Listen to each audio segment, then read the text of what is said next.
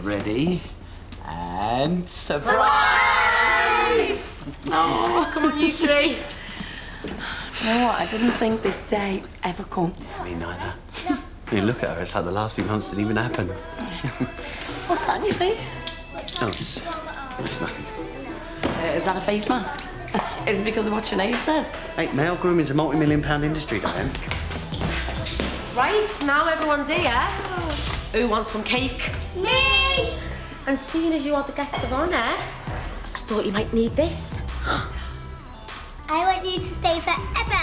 Oh, at least someone does. A cake. It's not fair, this, is it? Our Tegan should be here.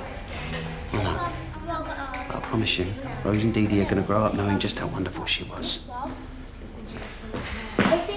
This is Harry's favourite cake, too. Shh, we're not allowed to mention him. Right then. Shall we cut the cake? Why are you sad? Me? Listen, I'm not sad, okay? I'm just happy to have all my babies back where you belong. Even the big ones. To family. Yeah. To a family. Right, I'm just gonna uh, make a quick phone call.